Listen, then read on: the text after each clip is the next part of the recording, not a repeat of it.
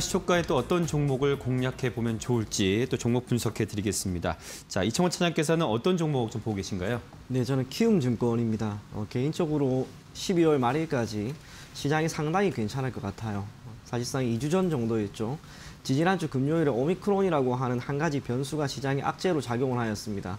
그래서 시장이 한 번 크게 밀렸는데 다행스럽게 이 오미크론이 하루하루 지나다 보니까 그들이 줄 수 있는 영향력이 크지 않다라고 하는 게 이제 어느 정도 나오고 있죠. 그러다 보니 미증시는 물론이고 우리나라 증시도 인덱스 기준으로 좋은 흐름이 나오고 있는 것 같습니다. 그렇다면 시장이 괜찮다라고 하는 것은 결국에는 증권주가 잘 갈 수 있는 한 가지 변수로 작용을 할 겁니다. 그런 면에서 우리가 키움증권의 현 시점에서 봐도 괜찮지 않을까 그렇게 생각을 하고요. 시장이 얼마까지 갈지는 저도 잘 모르겠습니다만 오늘 선물 시장에서 외국인들의 매수세가 결코 적지 않았어요. 현물 같은 경우에는 일정 부분 매도세로 전환이 됐다 하더라도 내일 선물 옵션 동시 만기죠. 동시 만기를 앞둔 이 하루 전날 선물 시장에서 외국인들이 5천억 이상 이렇게 매수를 했다라고 하는 것은 아마도 내일 선물 옵션 만기 때 그래도 방향성을 우리가 어느 정도 위쪽으로 잡을 수 있는 한 가지 수급으로 보면 좋지 않을까 그렇게 생각을 합니다. 증권주는 단기적인 관점에서 보다는 여러분들이 가급적이면 중기나 장기적인 관점에서 봐야 되는데 증권주의 주가에 긍정적인 영향을 미칠 수 있는 역시 시장, 이 시장이 잘 간다라고 하는 것과 또 하나 증권주 같은 경우에는 대다수가 이 수수료를 기반으로 하고 있는 수익을 많이 창출을 하고 있습니다. 지난해부터 개인 투자자가 상당히 많이 늘어났죠. 자연스럽게 수수료 수익을 크게 만들 수 있는 여건이 마련이 되었습니다. 그리고 주식으로 투자가 조금씩 조금씩 진행이 된다면 사실상 키움 증권 같은 경우에는 그들이 가지고 있는 영웅문이라고 하는 매우 단단한 어, HTS를 보유하고 있기 때문에 기존 고객이 크게 이탈하는 것도 크지가 않습니다. 그래서 키움증권을 이용하고 있는 많은 회원들이 지금과 같은 시장 상황에서 계속 시장에 참여를 한다면 자연스럽게 수수료 수익이 늘어날 거고 또 하나 IPO를 기반으로 하고 있는 공모가 계속해서 활성화된다면 거기에 따른 수익 마지막으로 시장이 괜찮으면 역시 자기 매매를 기반으로 하고 있는 부분에서 실적이 개선될 수가 있겠죠. 거의 모든 것들이 증권주에게 매우 좋은 흐름을 또는 매우 좋은 경영 환경을 만들어 주고 있다라고 생각을 합니다. 그래서 저는 키움증권을 여러분들이 보시면 좋겠고요. 어, 3분기 기준으로 순이익 또한 전년 동기 대비 16.5%나 늘어난 1975억 원 수준의 기록을 어, 할 것으로 예상을 하고 있습니다.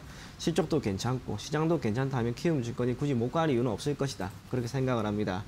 주가가 최근에 9만 6천 원까지 밀렸습니다. 하지만 이건 철저하게 시장 영향이라고 할 수가 있겠죠.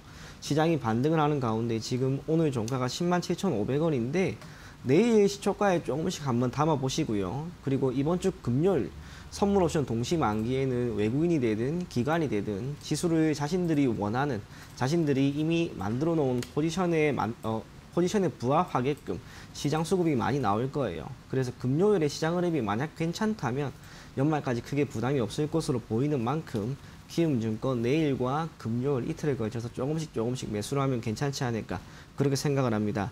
목표 가격은 12만 5천 원 제시해드리고 손절 가격은 10만 원 제시해드리도록 하겠습니다. 음, 알겠습니다. 영웅문의 파워로 키움증권 좀 중장기적인 측면으로 보자라고 얘기해 주셨는데 황희숙 대표님은 내일 종목 사갈 만한 종목으로 뭘 보고 계신가요? 네, 저도 이제 증권주인 하나투자증권을 말씀드리려고 하는데 저는 이제 그 증권업계 성장이나 뭐 실적보다는 사실은 좀 다른 차원으로 보려고 합니다.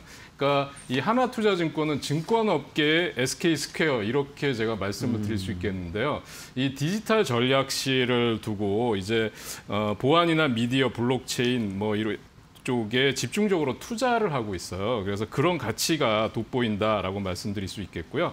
업비트 운용사인 두나무 지분 6.14%를 보유하고 있는데 처음에 취득할 때 지분 가치가 600억이었는데 지금은 1조를 넘어설 정도로 어마어마한 그 지분 수익을 거두고 있다 이렇게 말씀드릴 수 있겠고요.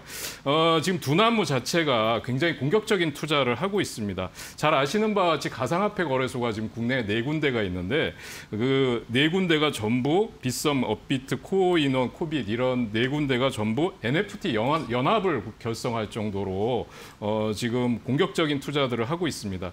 두나무는 뭐 JYP 지분을 가지고 있고 또 NFT 연계 디지털 제작 유통을 하는 플랫폼도 추진하고 있고 하이브와도 어, 또 투자 조인트 벤처를 설립할 정도로 굉장히 공격적인 투자를 하고 있습니다. 그래서 이 NFT 시장에 진입하는 이런 것들이 굉장히 공격적으로 보이고요.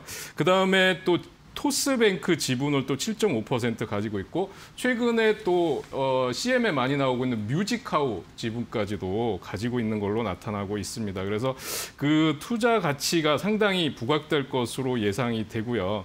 비트코인이 최근에 시세가 4만 3천 달러까지 급락했다가 5만 1천 달러로 다시 올라가는 모습을 보여주고 있습니다. 그래서 지금 상황에서는 저는 뭐 충분히 이 오늘도 보면 비덴트라든지 뭐 우리기술 투자 이런 어, 가상화폐 관련주들이 나름대로 반등 시도를 했고요. 어, 그래서 오늘 지금 보면 차트상으로도 보면 박스권에서의 돌파하려고 하는 움직임들이 나타나고 있습니다. 여기 보면 이제 박스권 상단이 에, 지금 일본 차트로 보면 6,230원대 정도로 되고 있고요.